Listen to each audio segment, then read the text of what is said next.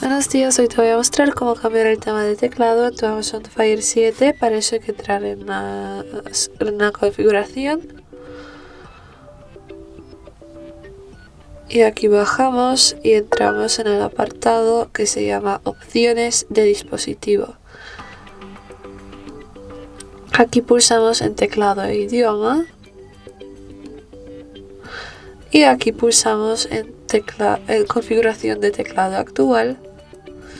Y aquí tenemos tema. Y aquí podemos elegir si queremos obtener un tema claro o oscuro y cuando elegimos la opción el tema ya está cambiado.